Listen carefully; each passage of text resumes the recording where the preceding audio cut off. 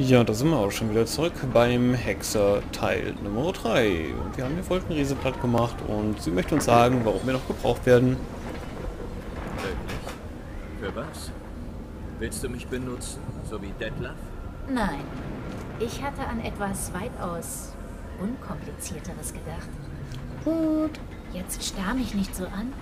Ich brauche einen Mann, Gerald, und ich stehe dazu. Ich weiß nicht, was mich jenseits dieses Ortes erwartet. Sieh es als letzten Wunsch. Deshalb war sie so nett. Ach, soll sie doch mit mir machen, was sie will.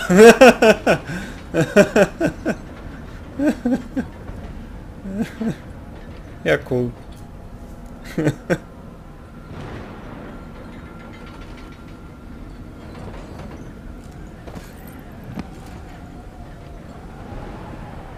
Ja, warum auch nicht, ne?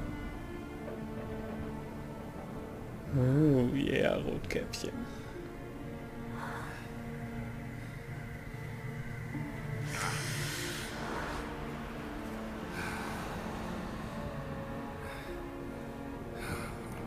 Ähm.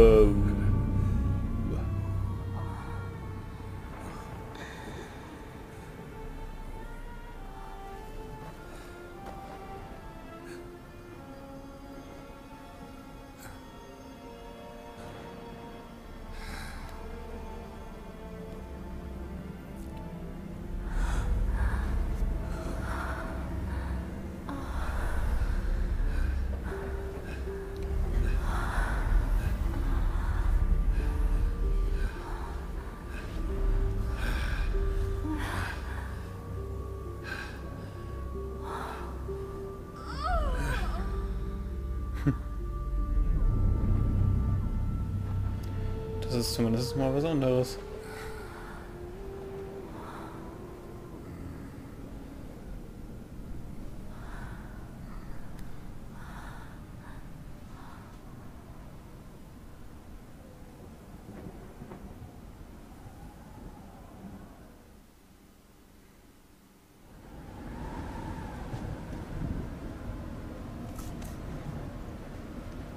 Trennen sich hier jetzt unsere Wege. Keine Abschiedsworte? Möchtest du mir etwas sagen? Nun, wahrscheinlich ist es so am besten. Du bist noch nie von einer Frau so behandelt worden. Richtig?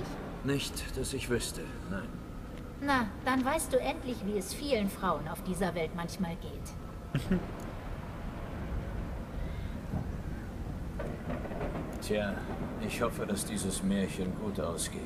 Für dich und mich und alle. Das könnte von dir abhängen. Was soll das heißen? Nichts weiter. Noch nicht. Los, komm. Hier geht's zum Ausgang. Ich würde mich aber trotzdem vorher gerne noch umschauen, ob es hier noch interessante Sachen gibt. Ich meine, das ist eine Burg. Die ist groß. Oh, da ist wieder so ein Irrlicht zum Beispiel. Noch ein Licht.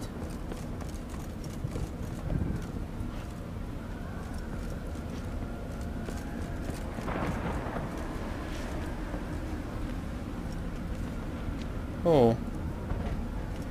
Soll ich runter? Ja, und jetzt?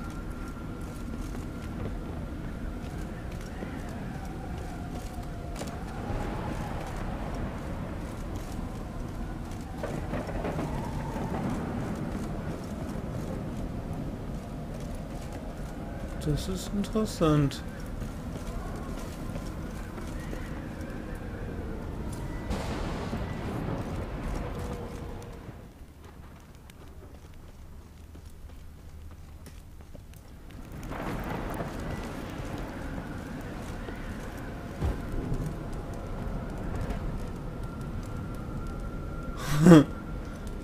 Dark Souls Anspielung. Ah. Was haben wir denn da bekommen? Geschäft. Geschäft. Das ist jetzt quasi das Gegenstück zu ihm hier. Nur besser. Nur mal gerade vergleichen vom Schaden her. Boah. ist natürlich brutal, ne? Ja. Für den Moment. Cool. Danke, liebes Irrlicht. Sehr verbunden. Äh, hier kommen wir zurück. Hier kommen wir zurück.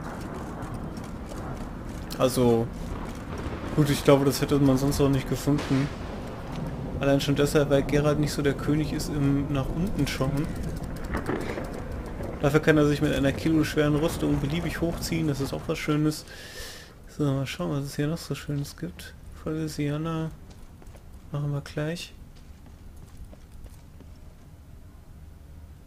Hier sollten wir wohl lieber nicht runter oder hoch. Da scheint es nichts zu geben. Nichts Lootbares. Ich meine, bitte, wenn wir schon mal hier sind, dann müssen wir uns das ja auch mal anschauen.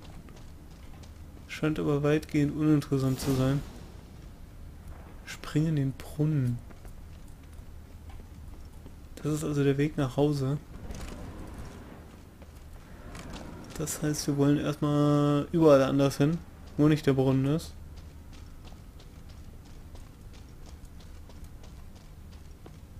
Beispielsweise hier hoch.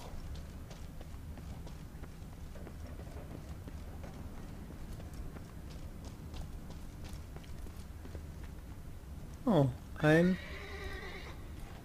Ein Esel.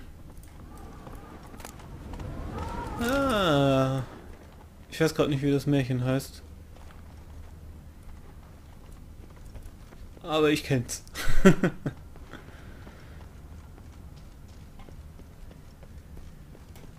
Hier siehst du Zaubergold. Dann haben wir doch zumindest noch was gefunden.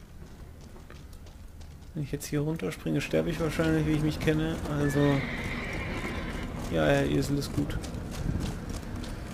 Ja gut, dann wird es das hier wahrscheinlich gewesen sein, behaupte ich jetzt einfach mal. Und wir springen in den Brunnen. Nur aus Neugier. Warum wolltest du das Herz von Toussaint? Und den herzoglichen Wein? Das war mein Recht. Sie standen mir zu. Wir wären nicht auf dich gekommen, wenn du nicht versucht hättest, sie zu kriegen. Das weißt du, oder? Ja, aber ich bereue nichts. Man lebt nur einmal. Hier, wir müssen nur in den Brunnen springen. Du zuerst.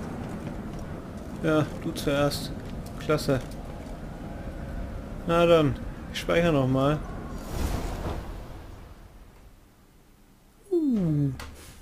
Also jedes Mal, wenn die hier raus wollten, gut, es gibt noch einen anderen Weg, der verschlossen ist, aber jedes Mal, wenn die hier raus wollten, mussten die sonst äh, Bohnen besorgen, die wachsen lassen, da hochklettern und dann in den Brunnen springen.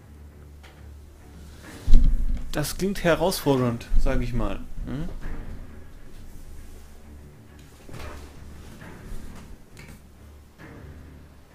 Alter.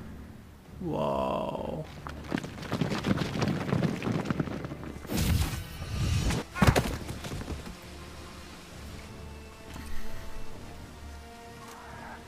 Portale im Springbrunnen?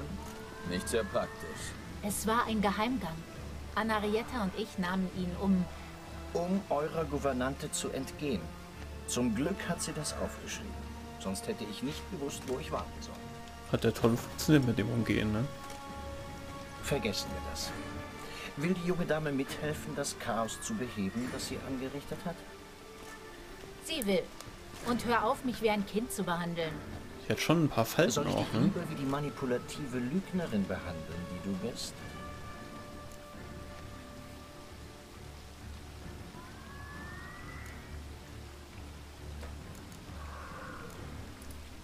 Beruhigt euch, beide. Aber Kein Aber. Gehen wir. Ich will es wirklich hinter mich bringen.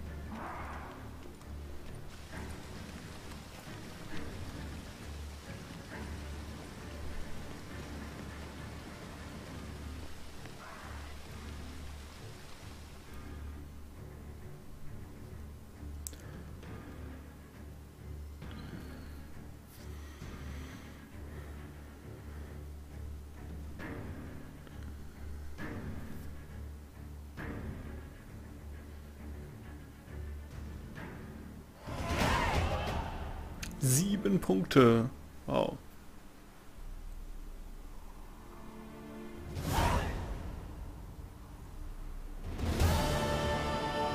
Hinter Berg und Tal.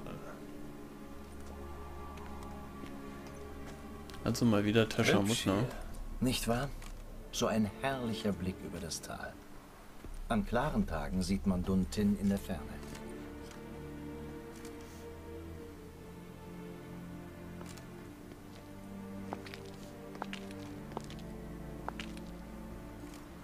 Findet ihr?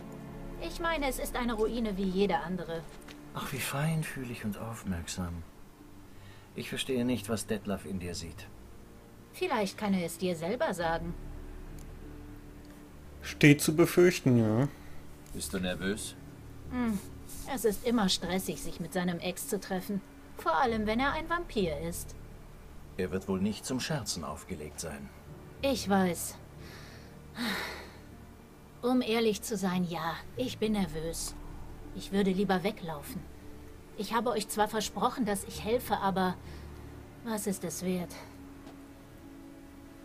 Aber ich schulde ihm dieses Treffen. Schluss aus. Kann ich vorher noch meine Rüstung wechseln? Vorsicht jetzt. Detlef ist jeden Moment hier. Naja. Sonst ziehen wir halt als strahlender Ritter in die Schlacht, das ist auch okay.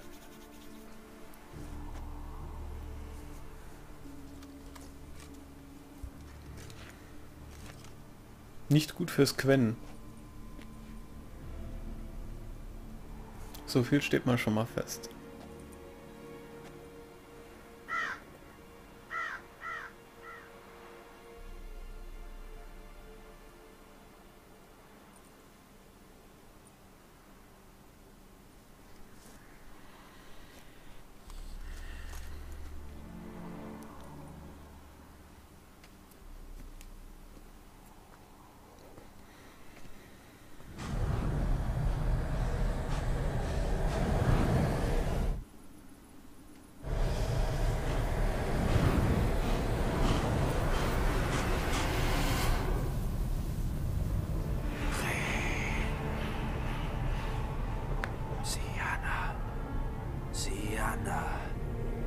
Muss dich etwas fragen. Hast du das wirklich alles nur gespielt? Was uns verbunden hat, war falsch. Detlef, so einfach ist das nicht. Ich. Es ist ganz einfach. Entweder hast du mich getäuscht oder nicht.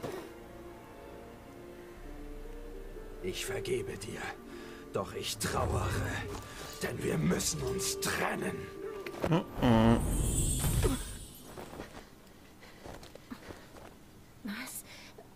Aber wie?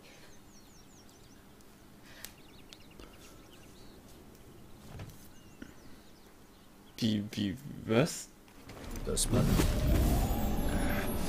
Ich bin wieder reingefallen. Ah. Dafür soll sie büßen. Früher oder später. Du hättest dich nie einmischen sollen, Hexer. Okay, okay, okay. Das heißt also, hätten wir das Band nicht gehabt, dann wäre sie jetzt tot.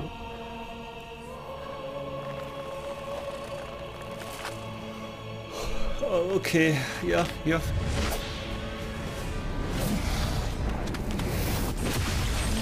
Also laut Buch, ja, laut Buch haben wir hier null Chance. Gar keine. Wir machen uns einfach platt. Du kannst nicht gegen einen höheren Vampir kämpfen. Es geht nicht. Okay, dann, ja, kann ich dann noch meine Sachen wechseln? Ich würde das tatsächlich gerne tun. Einfach mitten im Kampf.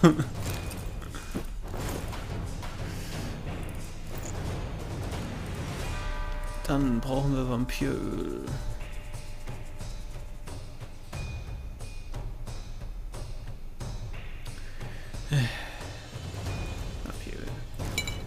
Dann irgendein Trank? Wie wär's mit Ich werde unsterblich oder so? Das wäre das wäre so schön. Oh, ernsthaft?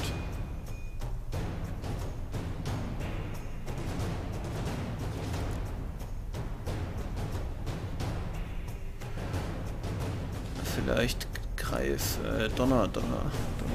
Ach, doch mal Donner. Teshamutna, ja, wo du gerade davon redest. Aber schön, dass wir nochmal was machen konnten.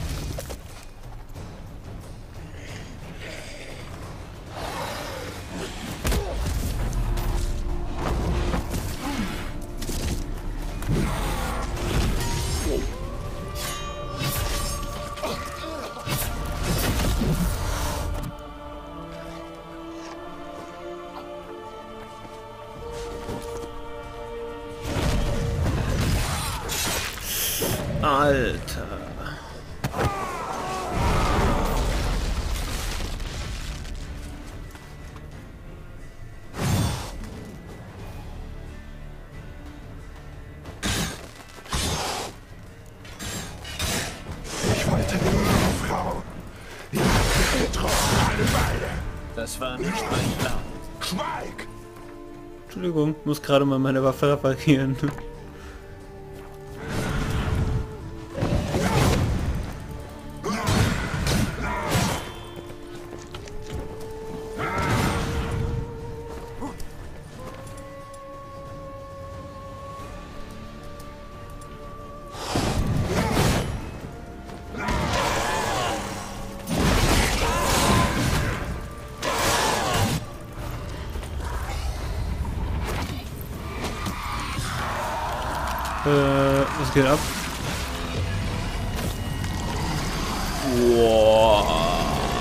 Jetzt eskaliert er. Jetzt eskaliert er. Das ist nicht gut. Wenn du Götter hast, dann fang an zu gehen.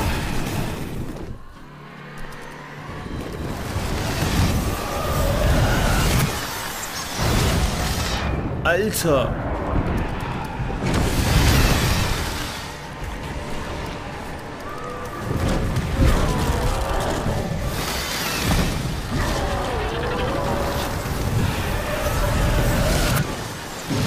Kann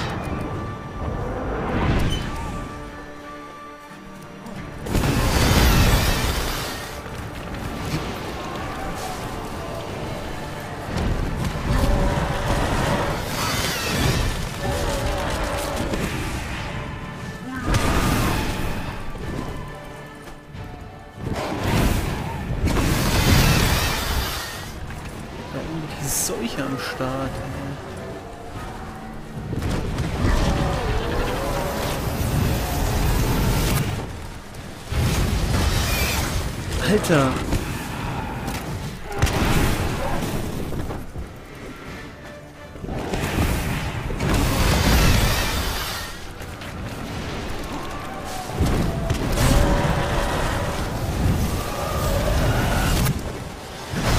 Nein.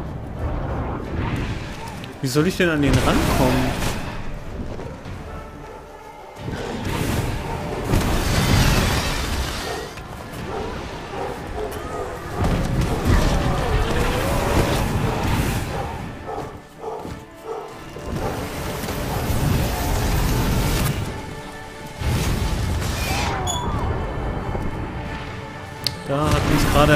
Gewisse Mechanik gerettet, ihr erinnert euch. Aber ich kann irgendwie gerade nie null gegen den machen, ne?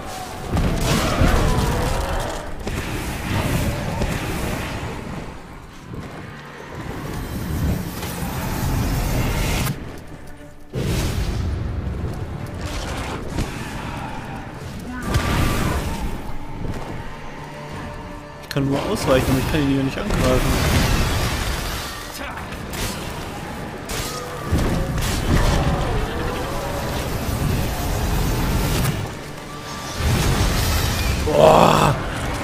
Ich weiche die ganze Zeit lang aus und er trifft mich trotzdem, ey. Was ist das denn?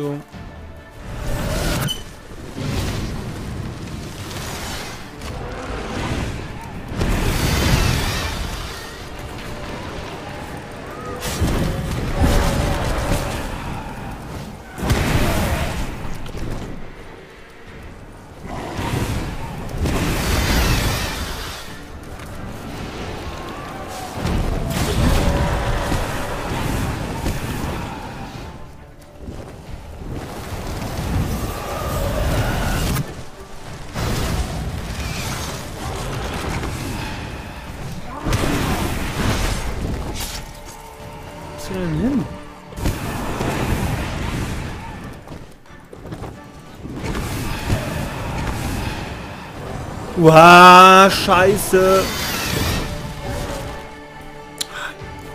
Schon verdrückt mich als... Alter!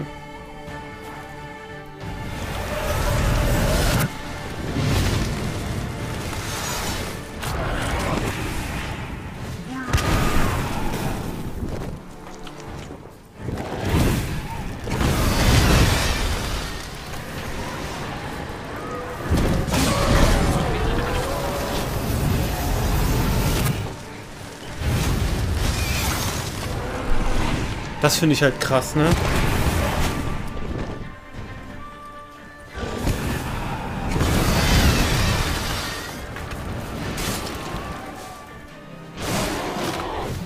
Okay, okay. Jagt ihm einfach mal die Flügel ab.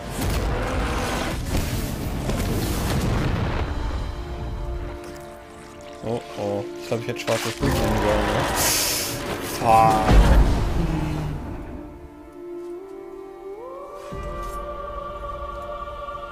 Und der erstmal die Halsschlagader aufgerissen ist, dann macht kämpfen keinen Spaß mehr. Da macht überhaupt nichts mehr Spaß.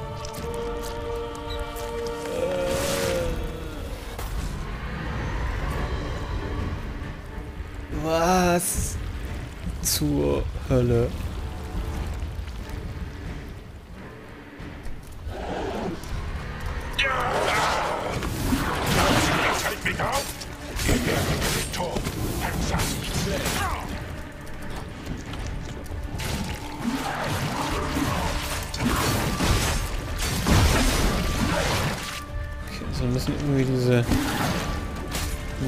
Nervenknoten oder was das ist nur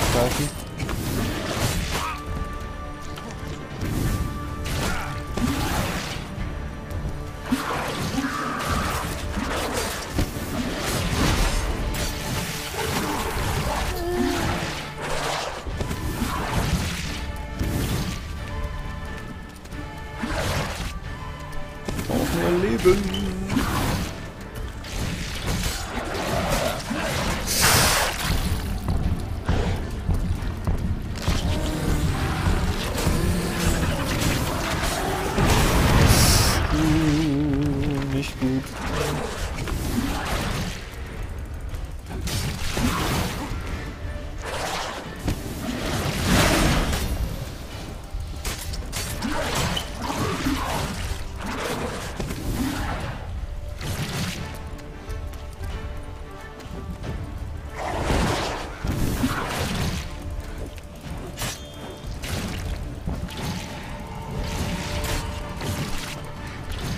Ist denn dieses Ding jetzt hin? Da.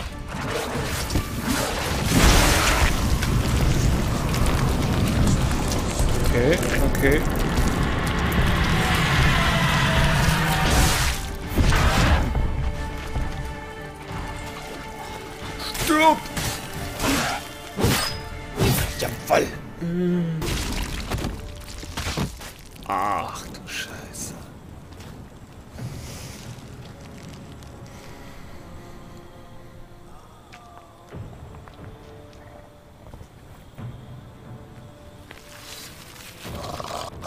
Ist schon wieder dabei, sich zu heilen. Ne?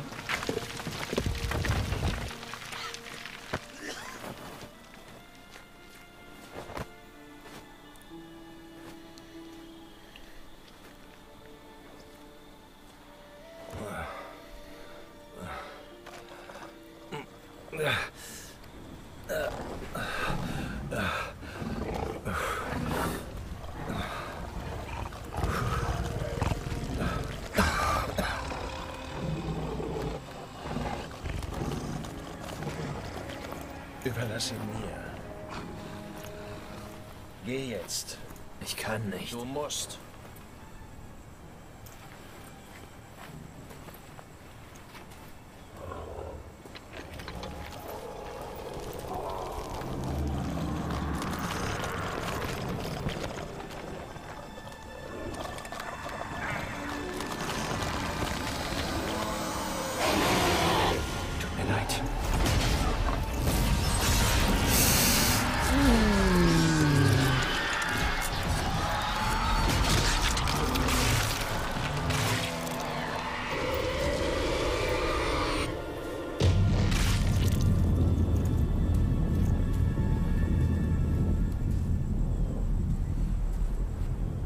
Okay. Das war heftig.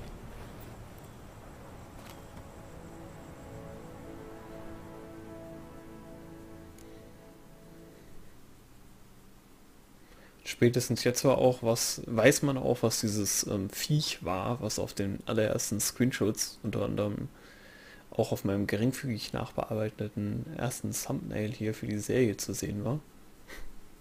Sprich, ich habe das Vieh da rausgeschnitten. War halt Gerald auf so einem Drohnen und ja, ein gewisses Wesen, das da von oben auf ihn runterschaut. Das war der Detlef in seiner Akroform. Krass. Ja, aber hier hat uns auch nur die neue Fähigkeit gerettet durch die Mutation. Was für ein umwerfendes Ensemble. Und wie gut es dir steht. Halt den Schnabel. Ich sehe wie ein Depp aus. Der Kaftan ist aus den besten Stoffen genäht, die man kriegen Ja, kann. bei dem waren wir schon mal, ne? das sorgfältigste gearbeitet. Aber man braucht natürlich ein Minimum an Geschmack, um das zu würdigen. Auch der feinste Mantel vermag nur optische Defizite zu verdecken, keine kulturellen Mängel.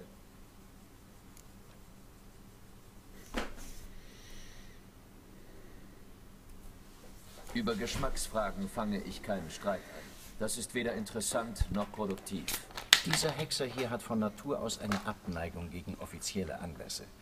Binnen kurzem muss er eine solche Veranstaltung besuchen. Das dürfte der Grund für seine Gereiztheit sein. Bitte versuch es nicht persönlich zu nehmen, Meister Schneider. Er sollte dir leid tun, da er unter Lampenfieber leidet. Er schlottert, weil er keine Ahnung hat, wie man sich in Gegenwart der Herzogin beträgt. Das sollte er auch. Schlotter? Wie auch immer dem sei, Toussaints höchste Auszeichnung, der Orden von Vitis Vinifera, verlangt angemessene Garderobe. Man kann von der Herzogin nicht verlangen, dass sie die Medaille auf eine schlammverkrustete Rüstung pappt. Palastprotokolle legen allerhöchsten Wert auf Tradition und Etikette. Eine Tradition, die das Äußere über alles stellt, die den schnöden Schein und deplatzierte Großzügigkeit verherrlicht.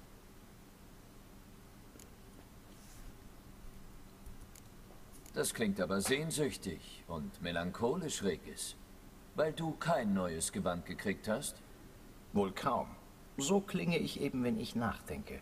Ob du es glaubst oder nicht, das kommt öfter vor. Außerdem bedarf ich keines neuen Gewands, da ich der Zeremonie nicht beiwohnen werde. Wieso nicht? Weil ich dazu im Gegensatz zu dir nicht verpflichtet bin. Ich packe lieber meine Sachen. Du kommst sicher später zu mir, wenn du um eine Medaille und ein faszinierendes Erlebnis reicher bist. Verlass dich drauf.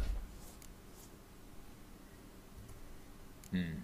Zeremonien, Medaillen für Tugenden. Das reinste Dauerfeuer. Ich hatte auch keine Pause. Und mir geht die letzte Tugend nicht aus dem Kopf. Mitgefühl. Dieses Puzzlestück passt irgendwie nicht rein. Du glaubst also plötzlich an die Fünf-Tugenden-Theorie? Nach allem, was wir herausgefunden haben? Hier geht es nicht um Glauben, Aberglauben und Altweibergeschwätz, sondern um Schlussfolgerungen und reine Logik. Sianna hatte alles geplant. Hätten wir sie nicht aufgehalten, dann hätte es ein fünftes Opfer gegeben. Eines, das mit Herzlosigkeit in Zusammenhang gestanden hätte. Aber ihre Pläne spielen jetzt keine Rolle mehr. Sie kann sie nicht mehr umsetzen. Der Bote mit meiner Einladung zur Zeremonie sagt, dass Sianna im Palast ist. Die Herzogin hat sich von den Höflingen nötigen lassen, sie in den Turm zu sperren. Willst du gar nicht wissen, wer noch auf ihrer schwarzen Liste stand? Wir haben noch etwas Zeit vor der Zeremonie. Wir könnten noch ein Wort mit dem Schuhputzerbengel wechseln. Nicht der. Er hat Detlef die Namen der Opfer gebracht. Ob wir was übersehen haben? Das ist eine Frage, die wir erst in der nächsten Folge werden klären können. Und bis dahin wünsche ich euch alles Gute und ciao, ciao.